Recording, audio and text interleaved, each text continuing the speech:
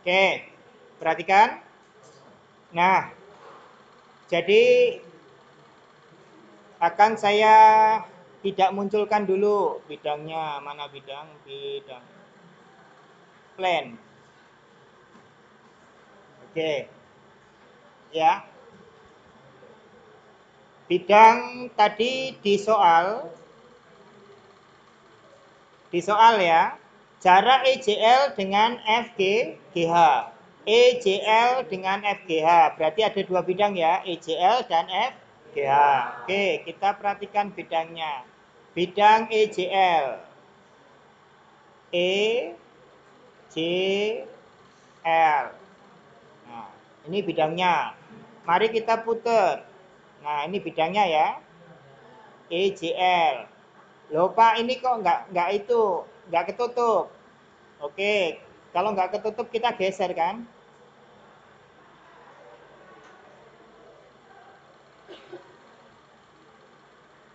Oke, kita perluas bidangnya. Oh, sudah paling luas.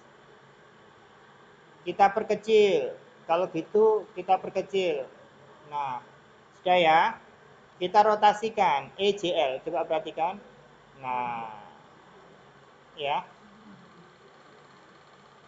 Lihatkan, yang tidak putus-putus adalah EI, IJ, sama I, IL.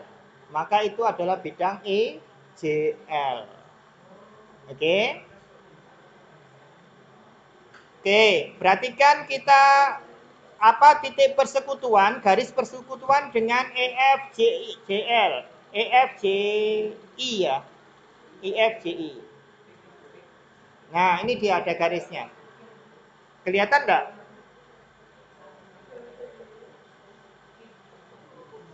Nah, ganti hijau ya. Nah, Oke.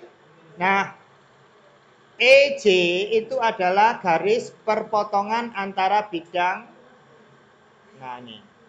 EJ EJ perpotongan antara bidang EJL. EJL kalau digambar di di balok bentuknya segitiga kan?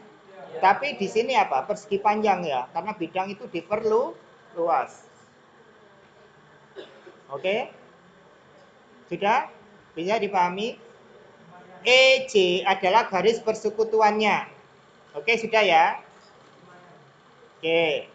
Saya akan tidak munculkan lagi. Karena kita tadi mau mencari apa? Bidang F G H. Nah, ini. Warnanya kita kasih warna kuning.